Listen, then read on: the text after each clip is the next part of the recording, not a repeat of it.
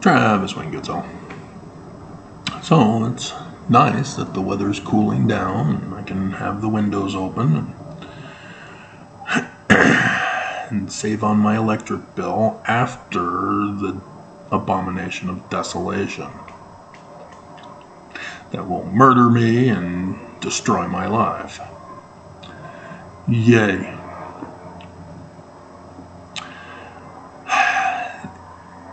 In uh,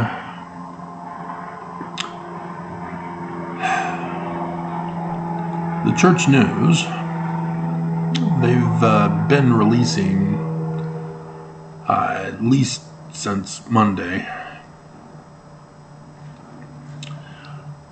of uh, it could have even been on Sunday when they put it up and uh, knocked the others down.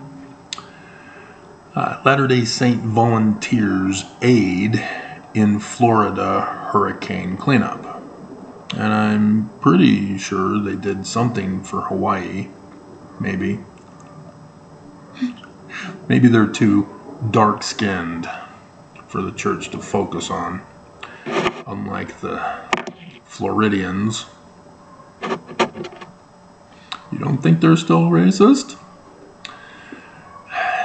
Do you even understand that members of the church must pay tithing? Blacks would join the church. They must pay tithing.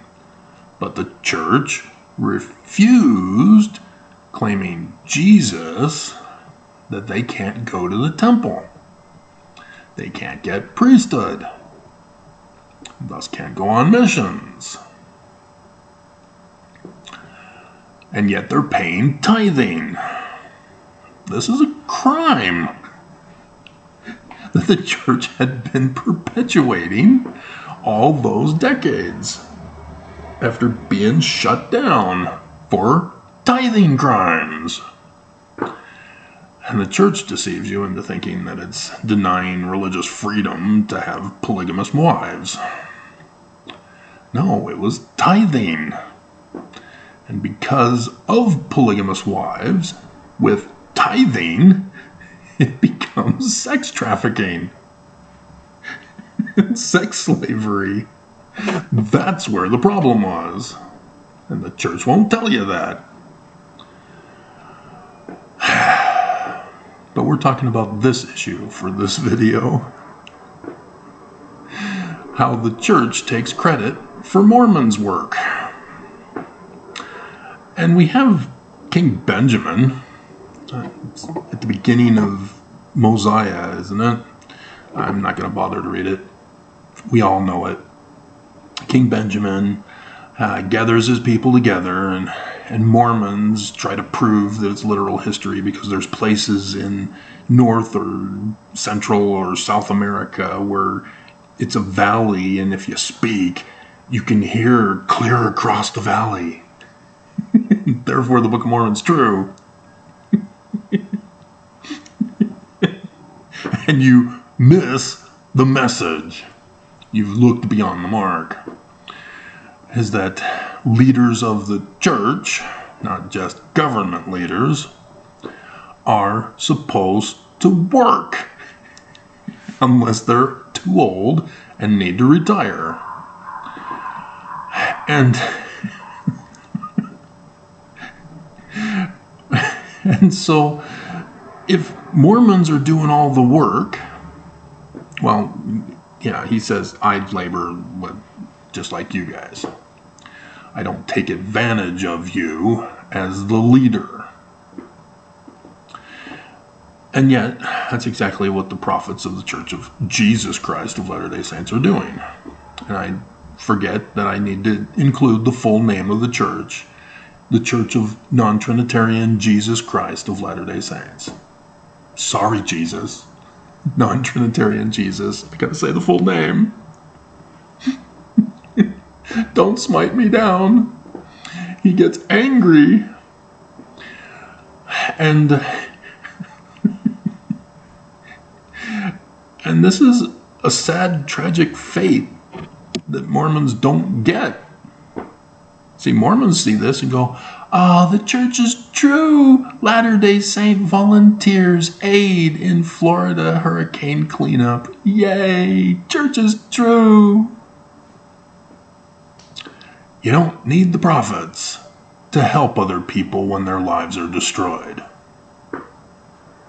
In fact, when somebody's life is destroyed, this is how you know who your true friends are. And so, yeah, those Mormon neighbors, well, good, because that's also your neighborhood.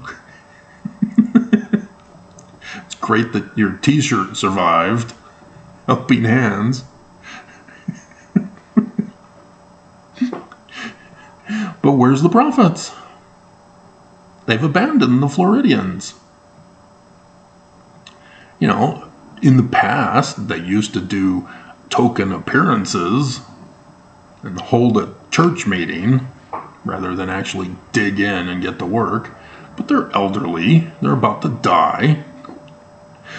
But still, they're getting paid to be a prophet through tithing. Section 119. That's a protection racket. That's a crime. Let alone it's in violation of the Book of Mormon. No priestcraft.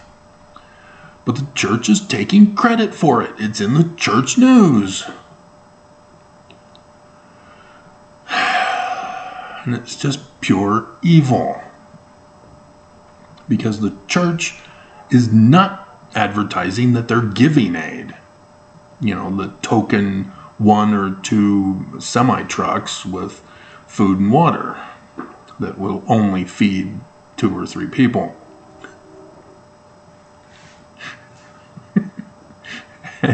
Because their lives are destroyed, this is going to go on for months while they try to repair the damages. They can't go to work during this time. Their work was destroyed.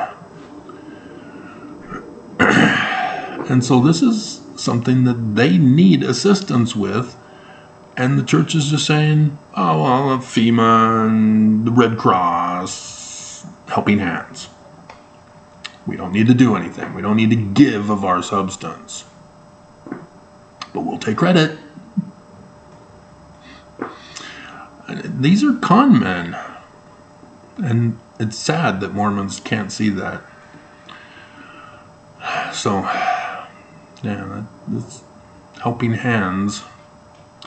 I mean, they're the ones who tell us idle hands are the devil's plaything. That's what she said. oh my god. So, yeah, we're we're done on this. I mean, there's obviously more I could put in, but again, the church is taking credit for something they're not involved with. That's how they do it. When they give money to a charitable organization, they didn't give the money. Mormons had to pay them have a portion of that used to give to a corporation, not to the actual people who need it. But that's another issue.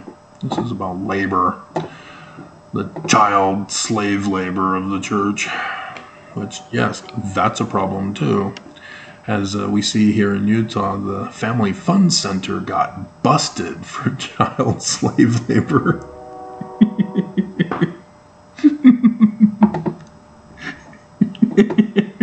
Bring your parents to work day. Pacifier Tuesday.